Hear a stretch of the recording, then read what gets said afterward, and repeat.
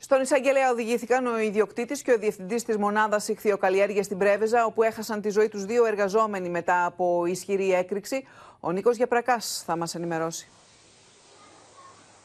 Καλησπέρα, Λίνα. Λίγο πριν τις 12 οδηγήθηκαν ε, οι ε, δύο συλληφθέντες ε, στο δικαστικό μέγαρο της Πρέβεζας προκειμένου να απολογηθούν. Αφέθησαν ελεύθεροι με την σύμφωνη γνώμη ανακριτή και εισαγγελέα, αντιμετωπίζοντας την κατηγορία της ανθρωποκτονίας της αμέλεια και ορίστηκε φυσικά τακτική δικάσιμος. Όλα αυτά βέβαια για το φωνικό, για την φωνική έκρηξη, η οποία σημειώθηκε χθες στην περιοχή Χόχλα στο καναλάκι Πρέβεζας ε, με το τραγικό αποτέλεσμα των ε, δύο νεκρών. Ένας 40χρονο Έλληνας πατέρας μάλιστα τριών παιδιών και ένας επίσης ε, και ένας 49χρονο αλβανικής καταγωγής. Ήταν οι δύο εργαζόμενοι οι οποίοι κατά τη διάρκεια οξυγονοκόλλησης έχασαν τη ζωή τους όταν σημειώθηκε έκρηξη σε μία φιάλια. Από την πλευρά της οικογένειας του Έλληνα νεκρού εκφράζονται πολλές εκφράζονται πάρα πολλά παράπονα για τον τρόπο με τον οποίο λειτουργούσαν στη συγκεκριμένη επιχείρηση οι συγκεκριμένοι άνθρωποι την ώρα που έκαναν την οξυγονοκόλληση. Ενώ η τραγική ηρωνία είναι ότι ο 40χρονο είχε δεχτεί πριν από λίγες ημέρες μία πρόταση προκειμένου να αλλάξει δουλειά, προκειμένου να βρίσκεται πιο κοντά στην οικογένειά του στην περιοχή της Πρέβεζας.